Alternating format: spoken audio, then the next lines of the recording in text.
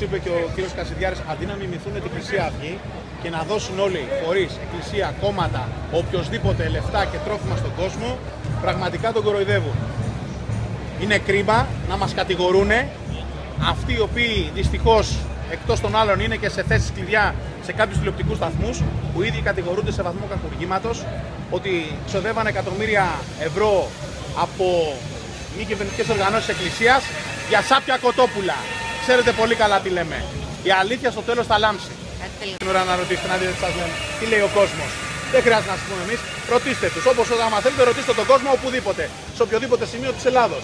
Αυτή τη στιγμή, αυτό το τρίμερο, προχθές, χθες και σήμερα, εξελίσσεται ενδεχομένως στο τελευταίο στάδιο της τραγωδίας του ελληνικού λαού. Υπερφορολόγηση των πάντων, κατασχέσεις των πάντων, τιμωρία με, το, με τοκογλυφικούς όρους των πάντων. Είναι απίστευτο αυτό το οποίο συμβαίνει. Θα έχουμε περίεργα να δούμε αν θα υπάρξει έστω και ένας βουλευτής της συγκυβέρνησης που θα καταψηφίσει αυτά τα εμετικά ανθεληνικά και προδοτικά νομοσχέδια. Έστω και ένας, έτσι για τη τιμή των όπλων. Φεύγοντα από εδώ, πού θα πάτε; Πάμε στη Βουλή, φεύγουμε σε λίγο.